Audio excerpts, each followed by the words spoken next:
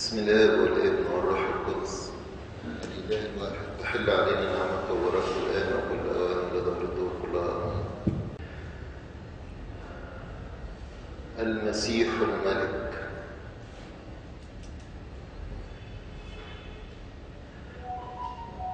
اليوم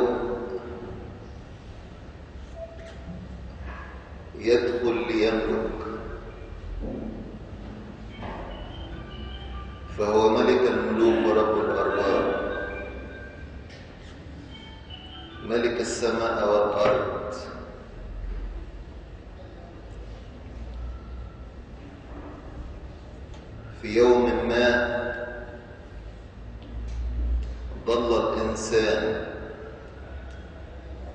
وبعد.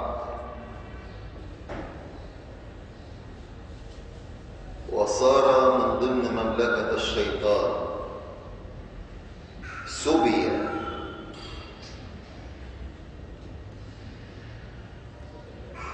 ولكن حب الله للبشر لم يترك الإنسان للسبي والموت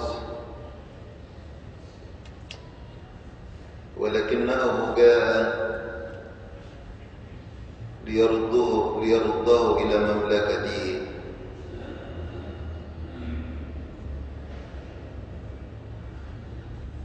ولكن كان لابد أن يدفع الثمن.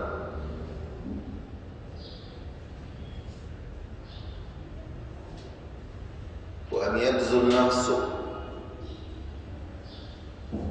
وفعل هذا بحبه وبإرادته عشان كده هو اللي بيحدد كل من المواعيد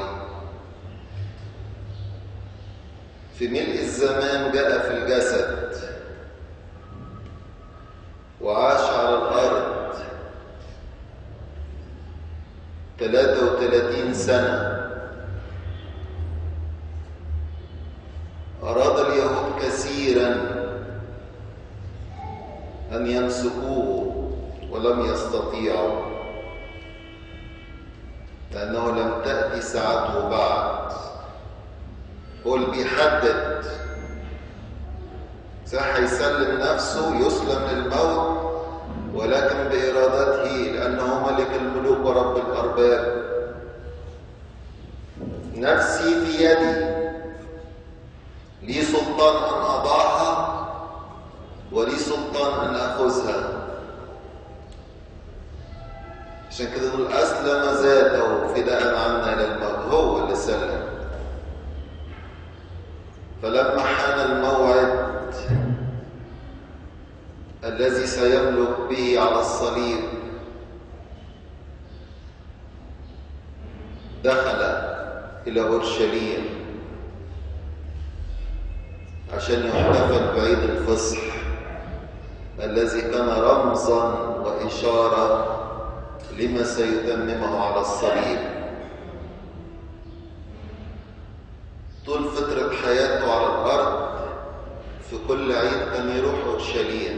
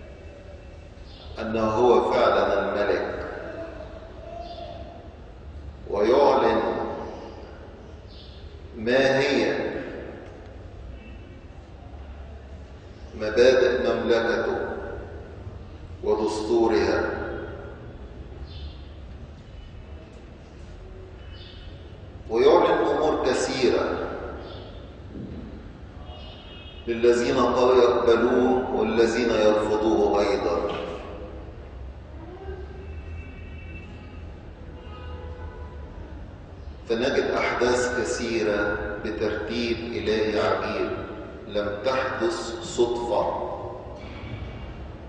ولا اعتباطا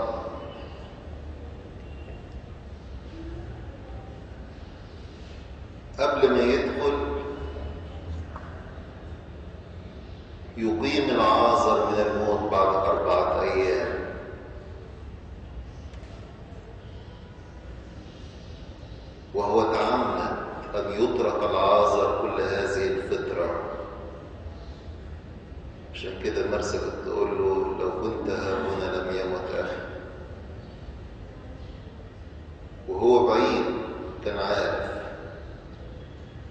وقال للتلاميذ العازر حبيبنا قد نام وأذهب لأوقظه كان التلاميذ فهمهم بطيء ودي كانت حكمة إلهية لكن كل هذه الأحداث ما كانتش للتلاميذ فقط ده كانت لينا وكل البشرية على مدى التاريخ عشان تتحكي ويتعرف كل حاجة بالتفصيل فيقيم العازر بعد أن أنتن ليعلن أنه جاء ليسحق الموت. أقوى عدو للإنسان الموت. الإنسان بيقدر يتحدى كل حاجة. إلا الموت دوت محدش بيقدر يقف قصاده أبدا. أعظم الملوك والأباطرة. مهما كان الجاه والسلطان والقوة. إلا إن الموت يجي. لا أحد يقهره. ويفقد الإنسان كل شيء. ويتساوى الجميع بالموت وهو الذي حكم به على الإنسان ولكن جاء المسيح ليقيمنا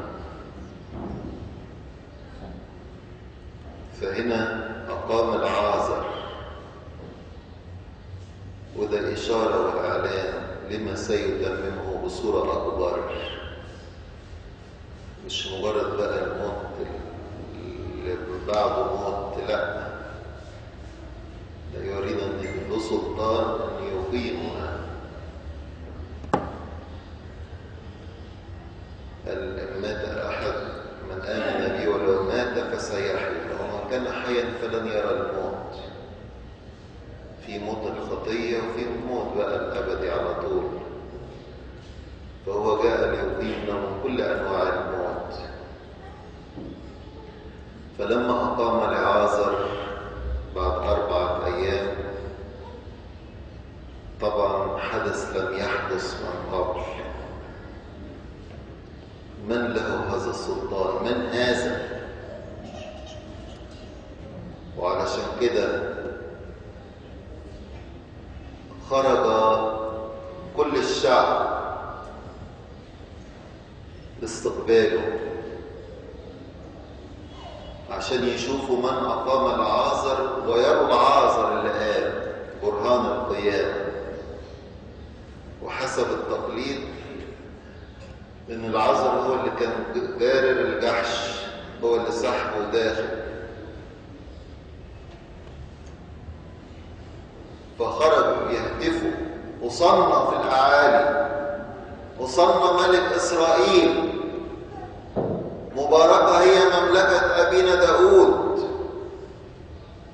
أدركوا أن هذا هو الملك الذي جاء ليخلصهم ولكن كان فكرهم قاصر ما زالوا متعلقين بالأرض. ظنوا فقط أنه جاء ليخلصهم من حكم الرومان في حين أنه أعلن لهم في دخوله معاني كثيرة وأن مملكته ليست من هذا العالم. ومبادئ هذه المملكة تختلف عن مبادئ هذا العالم وشعاراته فأول حاجة دخل راكب على أتان وجحش ابن أتان. ركب على الأتان الأول وبعد كده الجحش. والجحش ده كان في نظر اليهود نجس. وكانوا يشبهوا الأمم بالجحش فهو هنا يعلن يعلن إذا كانت الأتان المدربة على الركوب تشير للأمة اليهودية اليهودية المدربة على الشريعة والناموس فهو ركب الأتان الأول وبعدين سابها وركب الجحش عايز تقول إيه يا رب يقول انه جاء إلى خاصته إلى خاصته وخاصته لم تقبله. أما الذين قبلوا فأعطاهم سلطانا يصيروا أبناء الله. يشير لقبوله الأمم الذين هم أنجاز في نظر اليهود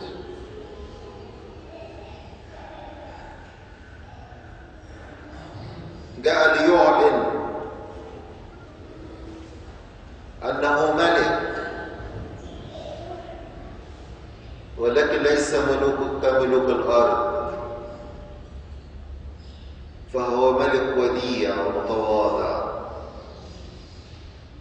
ملوك الأرض يدخلوا راكبين خيل حصان بعظمة وبهاء وتكبر لكنه دخل وديعا. وقال تعلموا مني لأني وديع ومتواضع القلب. فدي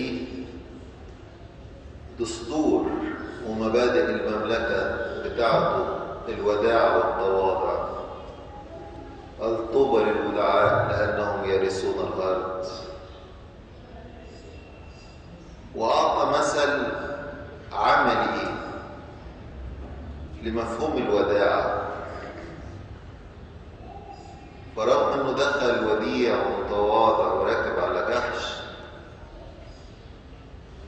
لكن دخل بكل قوة طرد بعض الحمام وقلب موائدهم موائد الصيارفة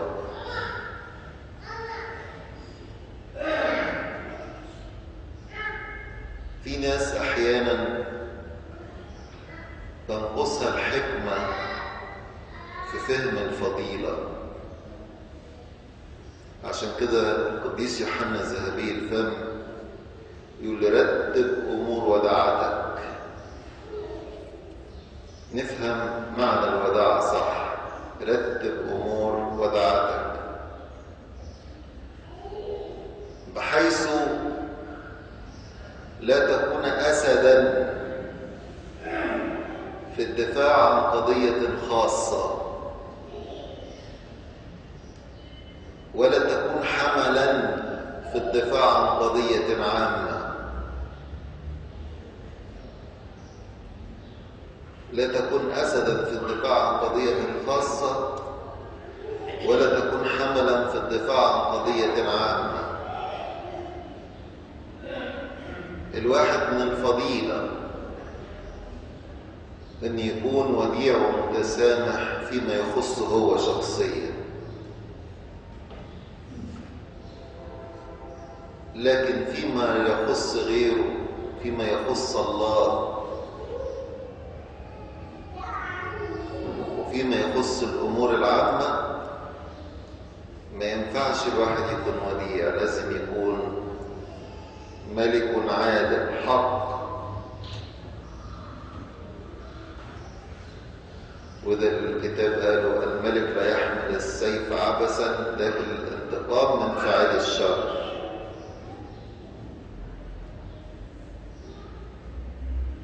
وده اللي عمله لما جه حد لطم وقال كنت قد تكلمت. راضيا فاشهد علي الراضي وإن كان حسن فلماذا تلطمني؟ الدنيا مش ملطشة. وده اللي القديس بولس عمل والتلاميذ لما أهينوا رجعوا فرحوا لأنهم حسبوا أهلا أن يهانوا من أجل اسم المسيح طبعا ولكن رغم ذلك. رغم الفرح أن الواحد يهان من اسم المسيح لكن لا يترك حقه اللي المجتمع والقانون كفلوا له. قال إلى قيصر أنا رافع دعواي فمن حق الإنسان أن يدفع الشر عن نفسه ويطلب حقه ولكن بطرق مستقيمة.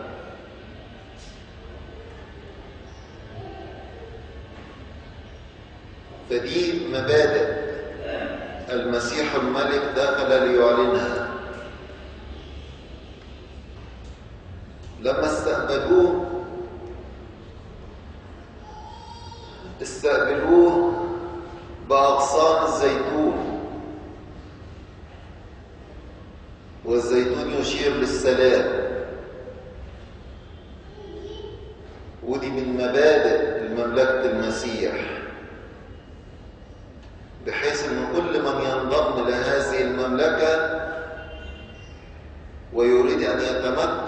بكل الحقوق اللي ليه فيها لابد أن يلتزم بدستورها. زي أي دولة اللي يلتزم بالدستور والقانون ينعم بكل الحقوق اللي ليه في البلد. لكن اللي يخالف القانون والدستور يقع تحت طائلة القانون والحكم. فهنا المملكة بتاع المسيح له المجد اللي ينضم لها. لازم يكون إنسان صانع سلام. وده اللي أشار لي أغصان الزيتون. طوبى لصانع السلام لأنهم أبناء الله يدعون وده بيمثل أو يظهر أولاد الله. صانعي سلام عايشين في سلام سواء سلام مع زوجهم سواء في بيوتهم بين أسرتهم سواء وسط الجيران سواء وسط المجتمع صانعي سلام من علامات أولاد الله. ومن ثمار الروح القدس. أما ثمر الروح فهو محبة فرح سلام. فاللي عكس كده يقول من ثمارهم تعرفونهم في ناس يرفضوا السلام ما يقدروش يعيشوا بسلام. تبص تلاقي يعني بيوتهم مكهربة. لكن من علامات أولاد الله المنتمين لهذه المملكة أن هم يكونوا صانعي السلام. أعلن من ضمن مبادئ مملكته أما استقبلوه بإيه؟ بأغصان النخل. النخل العالي. اللي هو يقول الصديق كالنخلة يزهو. ولاد ربنا دايما محلقين في السماويات. أما سيرتنا نحن فهي في السماويات ناظرين لفوق دايما.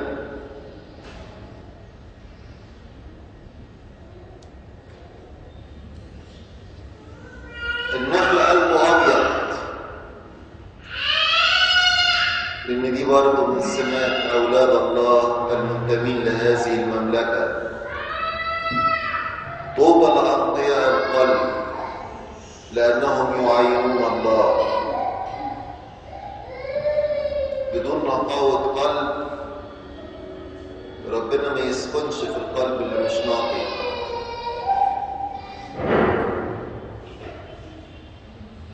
يكون نقي من كل شر ومن كل كره عشان يقدر يعين الله. طوبى الأنقياء القلب لأنهم يعينون الله. أي حاجة تعكر هذا النقاء كأنها حاجة بتحجب الرؤية. شوفوا كده لما يكون في سائل نقي أو زجاج نقي تبص تلاقي إيه؟ الرؤية واضحة الواحد يقدر يشوف كويس. لو النضارة دي يجي عليها شوية حاجات غير كده غبار ولا يعني أي حاجة ما يعرفش يشوف كويس. عايز يعين ربنا ويشعر بوجوده في حياته ويستمتع بيه وبسكناه فيه لازم دايما قلبه يبقى نقي. حتى لو دخل في حاجة يلحق بسرعة ينظفها